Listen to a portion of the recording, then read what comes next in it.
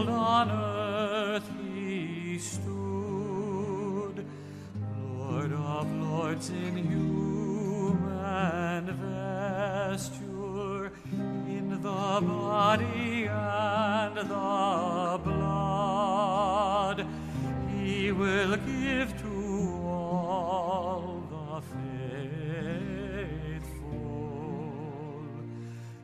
his own self for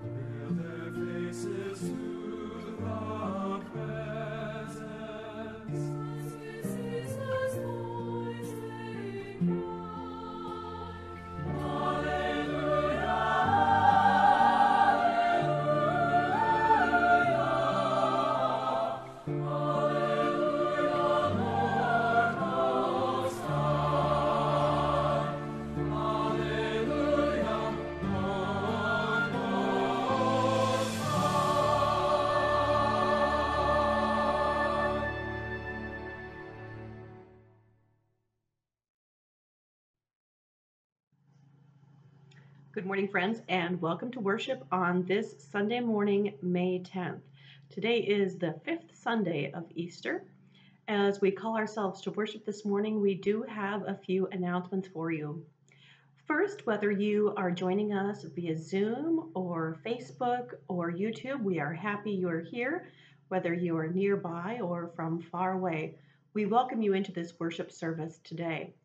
If you are joining us and would like to follow along with a bulletin, you can find that on the church website on the homepage at vintonpresbyterian.org. There in the top middle of the page, you'll see a yellow button. Click there and you'll have a document that you can download to view or to print double-sided on 8.5 by 11 paper. As you join us for this morning, we also welcome you to participate as you feel comfortable in prayers that are unison and responsive, and those times when we have moments of silence.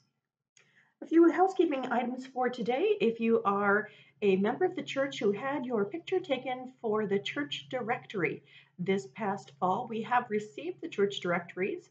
We've actually had them for a little bit, but there was an error in the printing in that the company printed the wrong style of directory and left out about 30 community pages. Unfortunately, while we were in the process of getting that fixed, LifeTouch did close their offices until midsummer. Being a business that is based solely on meeting with people and taking their pictures, they were unable to continue to do their current work with the COVID 19 restrictions. So instead of waiting for them to reopen their offices and their printing, we are going to distribute the directories as, as we receive them. Our youth group has offered to do that. They'll be going out in sibling pairs this coming week to visit you in your home. They'll give you a call before they arrive, and then they will uh, bring the directory to your door, uh, leave it either on your doorstep or hang it on your door handle, ring the bell, and then they'll step back so that you don't have to worry about uh, close proximity. At that same time, if you would like to give a special Mother's Day to a mother in your life, or if you would like to give a graduation message to one of one or more of this year's graduating seniors, they will be happy to record a video from you from about a 10 foot distance. So you can stay at your door. They will be far enough away that we don't have to worry about the spread of germs. And we will get that message up on our video for the next couple of weeks.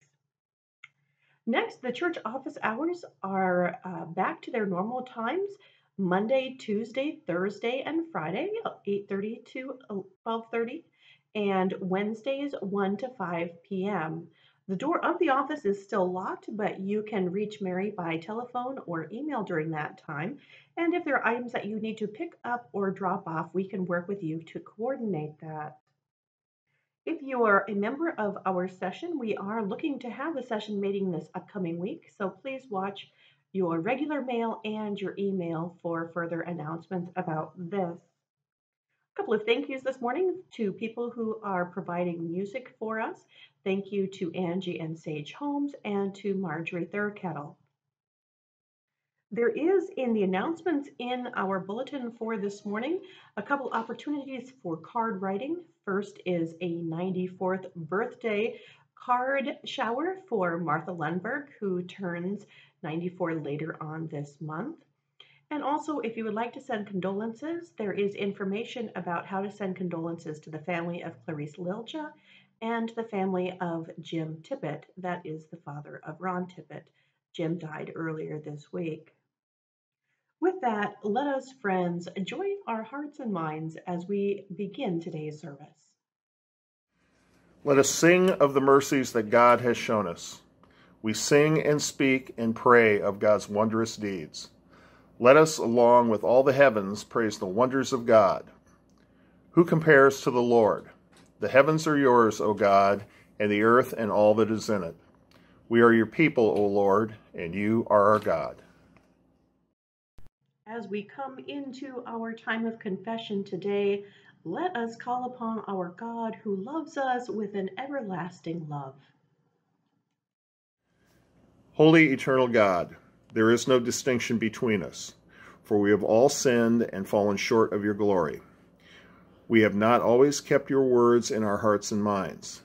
Forgive us, we pray, and give us the gift of your grace, that we may be made right through our faith in Jesus Christ. Amen. Take heart, brothers and sisters, for our God is full of righteousness and justice. God's abundance in goodness and mercy is for those who take refuge in God. This is the good news that in Christ Jesus we are forgiven. Thanks be to God. Amen. My brothers and sisters, whenever you face trials of any kind, consider it nothing but joy, because you know that the testing of your faith produces endurance. And let endurance have its full effect, so that you may be mature and complete, lacking in nothing.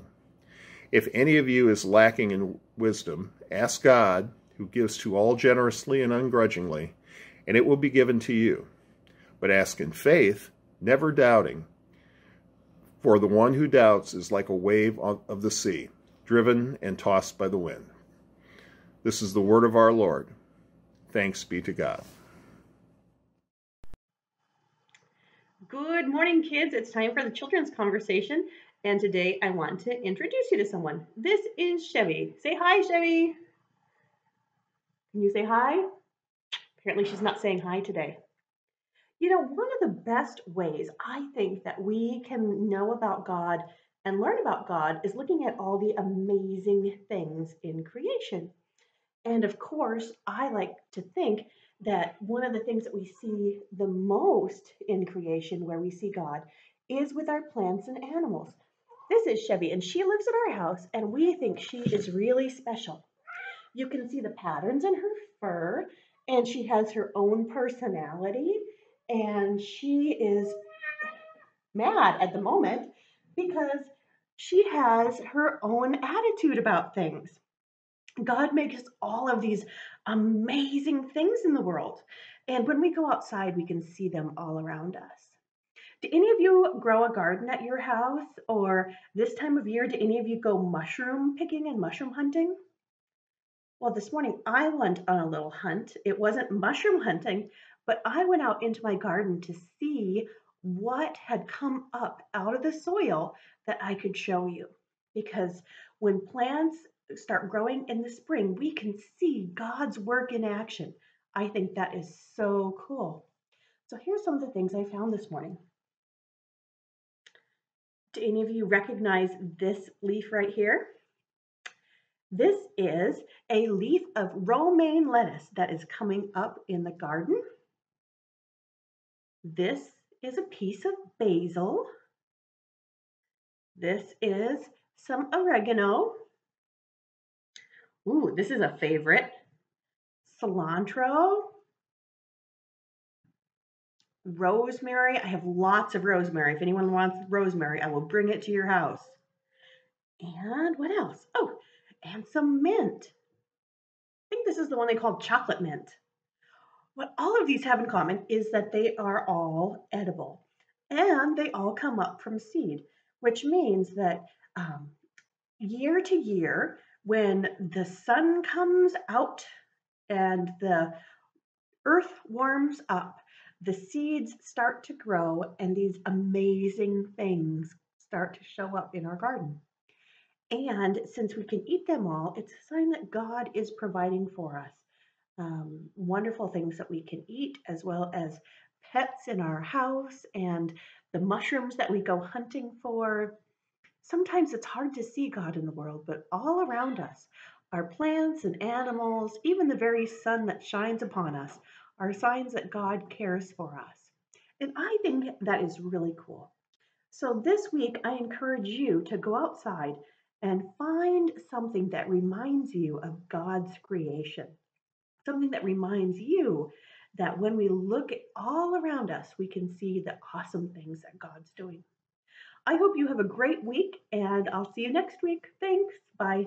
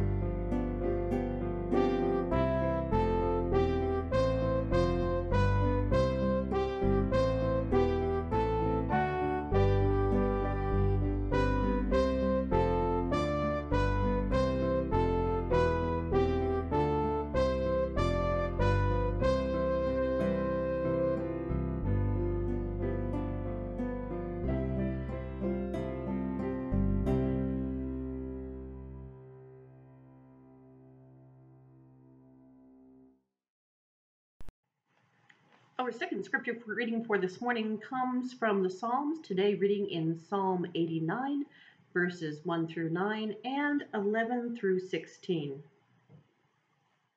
I will sing of your steadfast love, O Lord, forever.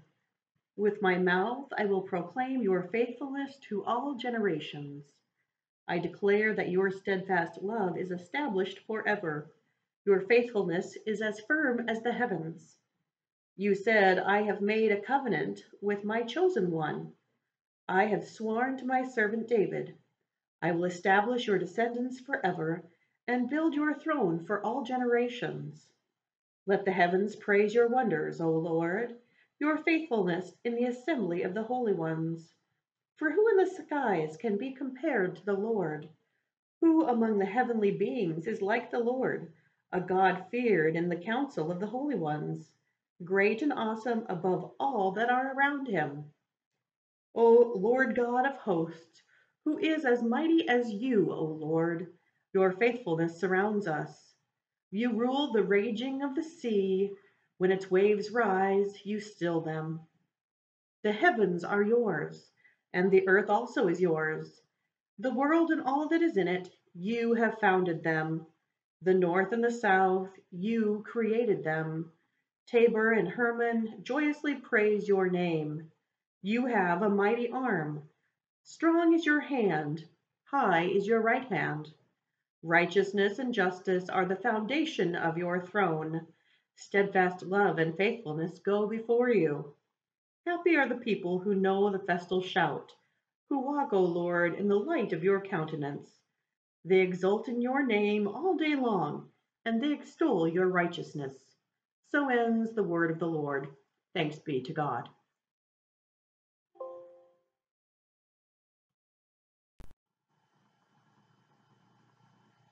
As we enter into the second week in May, it feels like the weather is finally starting to warm up.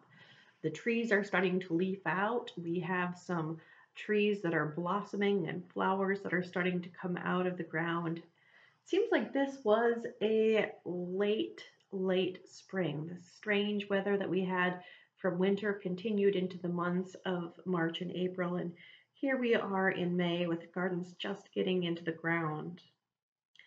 As the weather warms up, of course, it seems like our weeks of social distancing are a bit more tolerable since we are able to sit outside more and work in the garden and walk outside. But at the same time, we recognize that while statewide bans and restrictions are being lifted, it's not yet time for us to resume activities as normal. From time to time in the human experience, we as humanity have these times where everything changes. In school, in high school, and middle school, and into college, we always hear about the Renaissance period where everything changed. We came out of the time, the medieval times, the uh, this sort of a dark period into this time of enlightenment that we call it. Um, you know, it's like there was a cloud before that happened, and all of a sudden, oh, here we go. Things are new and exciting. And it wasn't quite like that, but we do understand the sentiment that there are these moments in human history where things simply are never going to be like they were before. And where we're at right now in this time of COVID 19 and um, learning phrases like social distancing and self quarantine, um, we know that things are unusual, that things are changing. And we have no idea yet what the end result is going to be. Only time will tell that. But uh, for some people, we know that life is going to go back pretty much to the way things be- were before, that this will have very little impact on some people's lives, but for other people, the the impact of this is going to be huge. It is going to be that revolutionary moment. Of course, uh, only the time will tell how much this ends up impacting society. Already, we know that for those who are most vulnerable to COVID 19, that it really may be a year or more before there is a safe vaccine or medication that is available that allows people who are in vulnerable groups to move freely in society again. And of course, for those who are least vulnerable to COVID 19, the opposite is true that these people are ready and eager to get back to the way things were last year at this time. They are longing for May of 2019. I was thinking a lot this past week and have thought over the last couple of months about how Christians often have longed to go back to the way things used to be.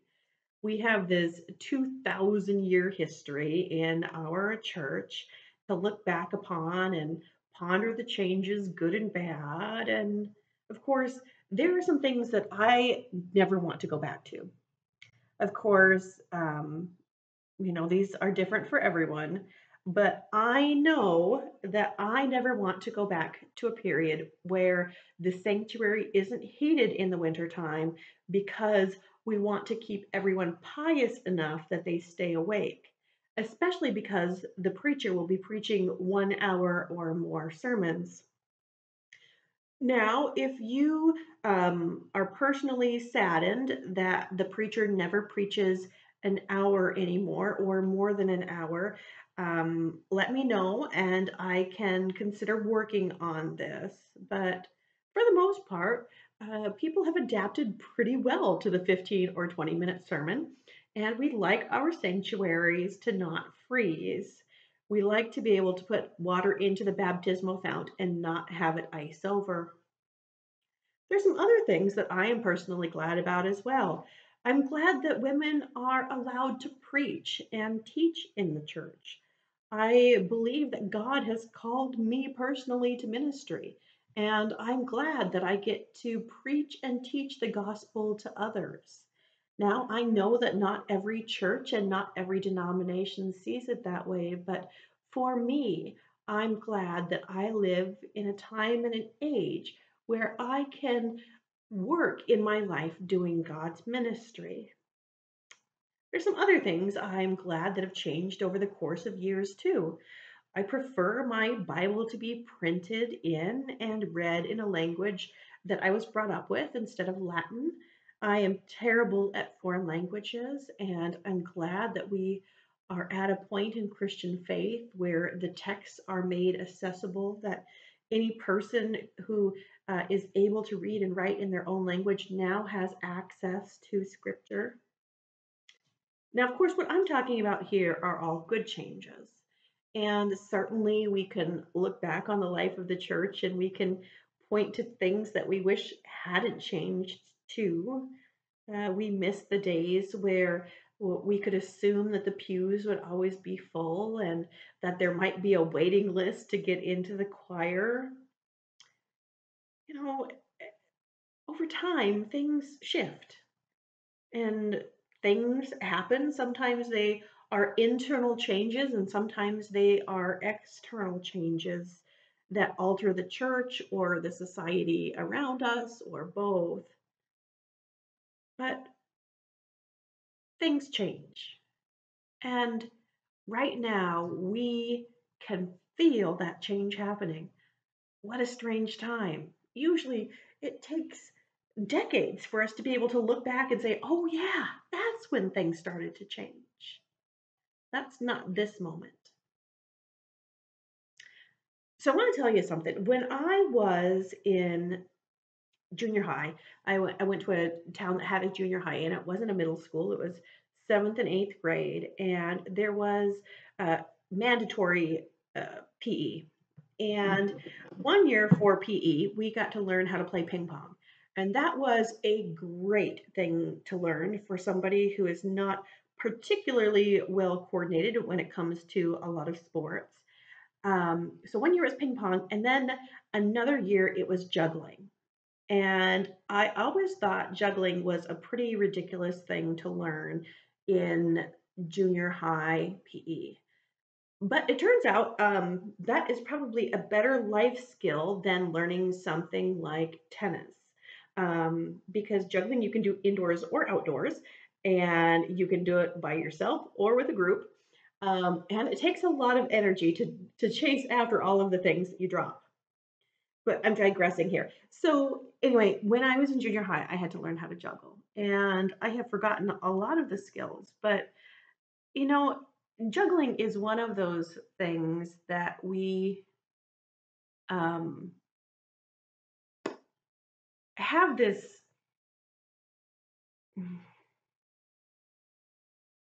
association with, right? Like, so we have juggling, right? Clowns juggle. And we see them, um, and it's a fun, cheesy thing to do, but we forget that that when we use the word juggling, it, it really points to a deeper skill. That juggling is a way of managing our world, whether it's three beanbags in the air or three activities that we are trying to put together all at once. And uh, it takes a little bit of coordination. And when I was thinking about all of the things in the church that has changed, I was thinking about how it is that we are going to manage the changes that come. And we are going to have to learn to juggle. Um, much like seventh graders who are forced into an activity that they don't really want to do, we are going to be forced to juggle things that we never thought we would have to juggle. We're going to have to figure out what it means to be the church in a new way.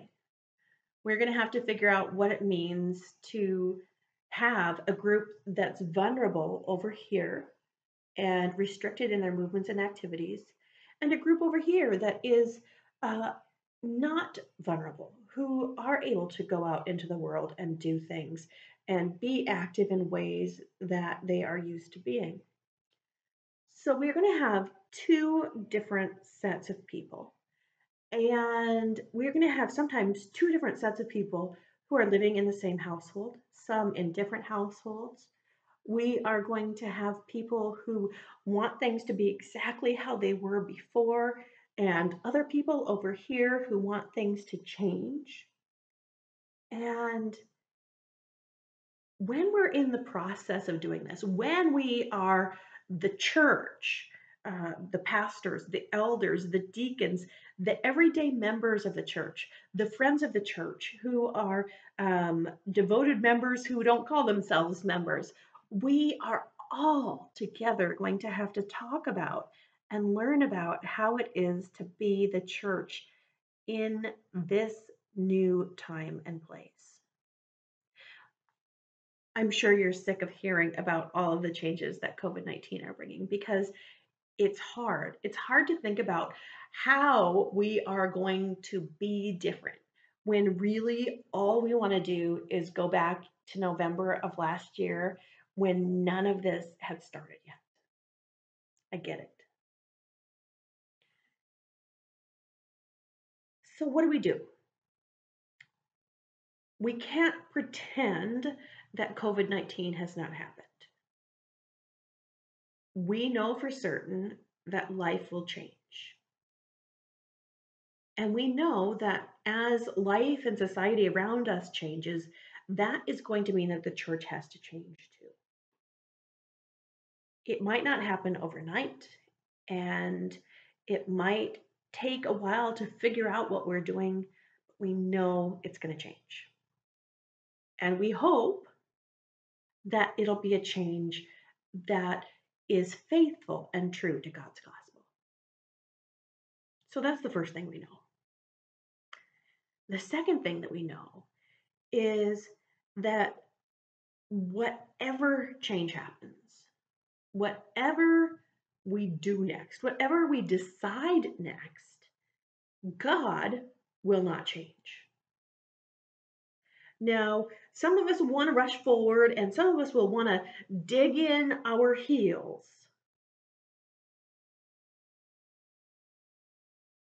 But we as a church and we as a congregation have a balance to strike. And it's going to require practice and it's going to require dedication and it's going to have some fails that go along with it. But God doesn't change. God will not leave us. God will not forsake us. God will not leave us here. I think of that song, I will sing of the mercies of the Lord forever, where in the song it says, With my mouth I will make known thy faithfulness, thy faithfulness. With my mouth I will make known thy faithfulness to all generations. That's where we need to be right now. Yes, change is coming.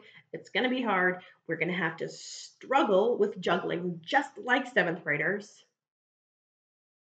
But God is faithful to all generations. Generations that, like our generation, have had to flex and change and do things differently.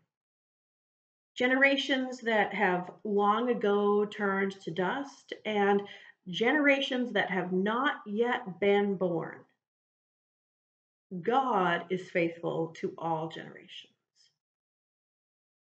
That song, um, I'll Sing of the Mercies of the Lord Forever, is based off of Psalm 89 where in the NRSV version it says in verses 1 and 2, I will sing of your steadfast love, O Lord, forever. With my mouth I will proclaim your faithfulness to all generations. I declare that your steadfast love is established forever. Your faithfulness is as firm as the heavens. This is the strength of our covenantal relationship with God. This psalm shows that our relationship with God and our God is steadfast and secure and sure. God cares for God's children in all times and in all places, even even when we don't know what's going to happen next. Even when we don't know what's happening next, we know that God will be with us. Covenants with God are two sided. On one side, we have God's faithfulness to us. And on the other side, we have our response to God's faithfulness. And in this, we retain our own faithful response to God. That is, that as much as God is faithful to us, we in turn are called to be faithful to God. And we do that by continuing to do God's work in the world to ensure that people hear the message of Jesus Christ. We care for the downtrodden. We worship with reverence. We teach the gospel. Now, what we do, how we do these things, might look different for a while. Or perhaps some things may change completely. But in terms of our covenantal relationship with God, that's okay. Because in that covenant with God, in God's steadfast love to us, our response to that steadfast love is to care, to preach, to teach, to love. We have a lot of ways we can do those things. So, if the ways that we've done before aren't working, if the ways that we've done things in the past no longer fit, that's okay because we can still preach and teach and care and love. Might look different, might feel different, but we can do those things. We are called to do those things. We can still do those things even from home, even in front of a computer screen, even in the midst of social distancing. We keep our faith. We keep caring. We keep worshiping, we keep teaching, and we rely on God's mercy to show us what's next. It's not easy. We don't have all the answers now. I wish we had the answers now. That would be fantastic. And it's rather hard for me to admit because I like to have the answers. I like to be an answer person. I like to have information at my fingertips. And in situations like this, there aren't easy answers and there aren't quick responses. One of the things I think that this is teaching me is patience. That sometimes in the midst of chaos, there's not much we can do but wait. Psalm 89, in a couple of the later verses, continues to talk about this back and forth between the covenantal relationship between God's people and God. And at verse 15, it says, Happy are the people who know the festal should, who walk, O Lord, in the light of your countenance. They exult in your name all day long and they extol your righteousness. As God's mercy continues for us, so our faithfulness continues for God.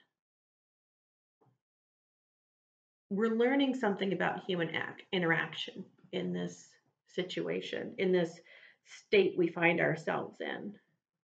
As much as we have complained about or uh, even pushed against some of the technology in our church and in our society, uh, some things have been really clear in the last uh, couple of months, and that is that relationships aren't the same over a computer screen or over a phone or um, in other ways that we keep together, like texting.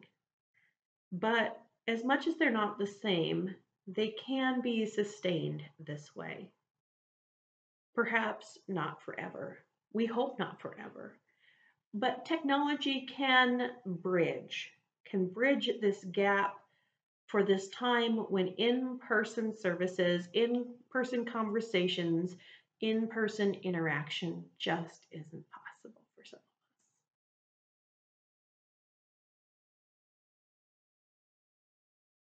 Friends, we are in a time that we couldn't have pictured that is hard to imagine what happens next.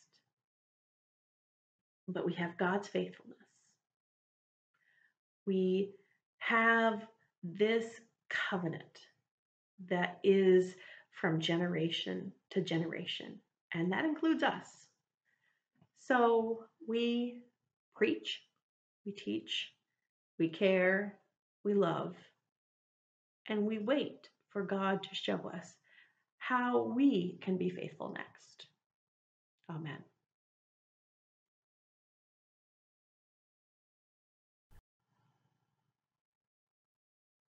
Our loving God gives us guidance and grace to choose the ways of life that bring us blessing and peace. Therefore, let us also live in ways that bring blessing and peace to others.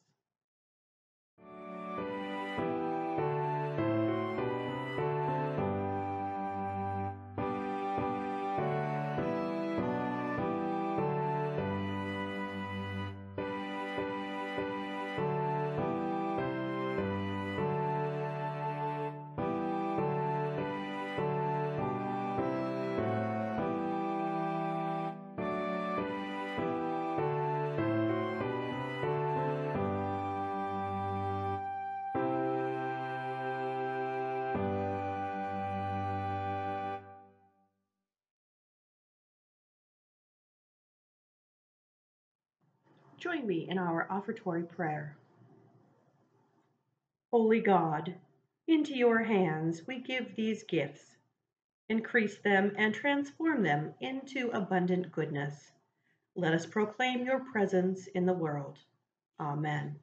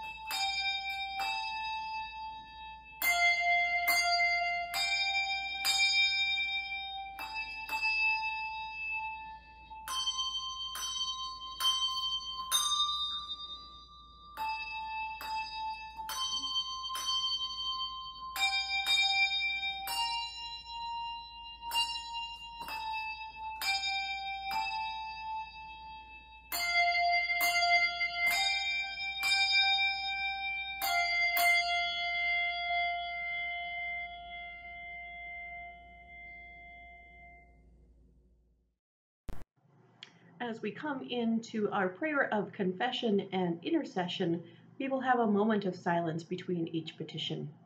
Let us come now before the Lord. Redeeming God, we bring you our prayers for the world.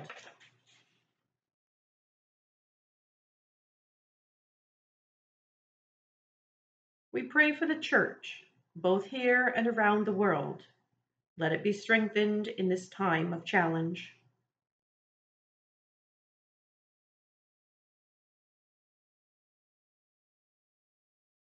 We pray for the gift of faith. Let us be nurtured in your word.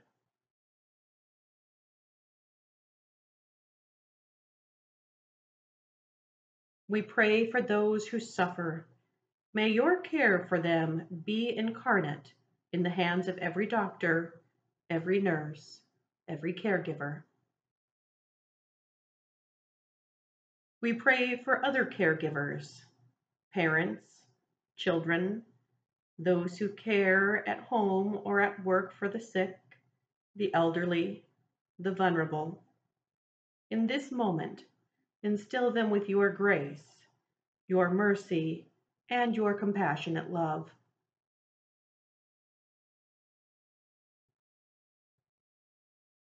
We pray for those who are struggling with the storms of life in relationships, in finances, in work, and in health. May your living word show them comfort and peace. With Christ, in Christ, and in communion with the Holy Spirit, we pray. Our Father, who art in heaven, hallowed be thy name. Thy kingdom come, thy will be done, on earth as it is in heaven. Give us this day our daily bread, and forgive us our debts, as we forgive our debtors. And lead us not into temptation, but deliver us from evil. For thine is the kingdom, and the power, and the glory forever. Amen.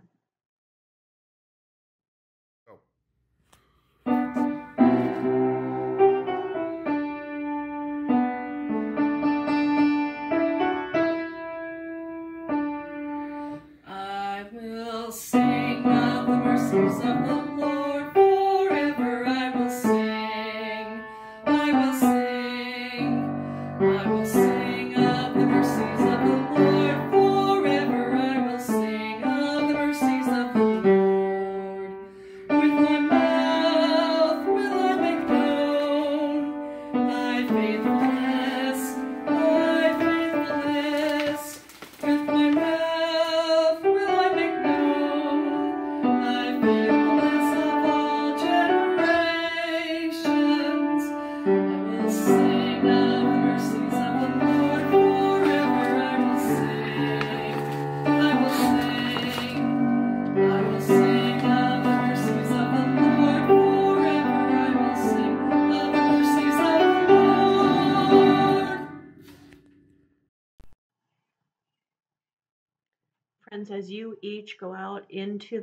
this week, may you remember that you are God's child who's dearly loved.